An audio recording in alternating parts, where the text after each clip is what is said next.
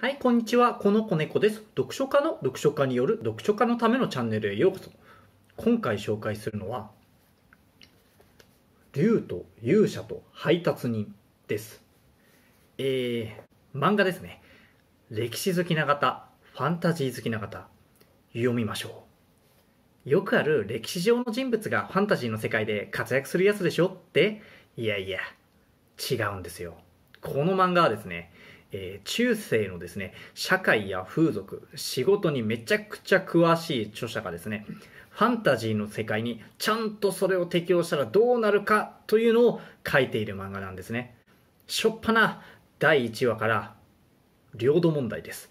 え土地の所有権を証明する証文か何かを出せという役所に対し、この土地はお師匠から代々受け継いでいる由緒正しき土地をこの魔法の帽子が証明じゃいという魔法使いのせめぎ合いです、えー一体どんな読者層を狙ってるんじゃっていう感じですよね、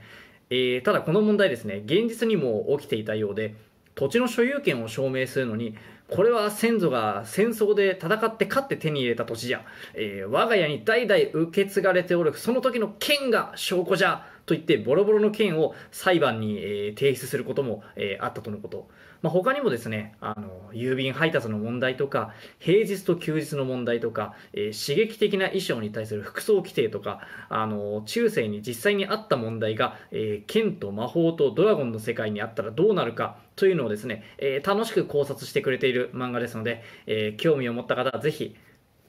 竜と勇者と配達人読んでみていただければというふうに思います。こんな感じで毎日1冊おすすめ本を紹介していますので気に入ってくれた方はぜひ、え高評価とチャンネル登録していただけると嬉しいです。では明日もまた会いましょう。バイバーイ。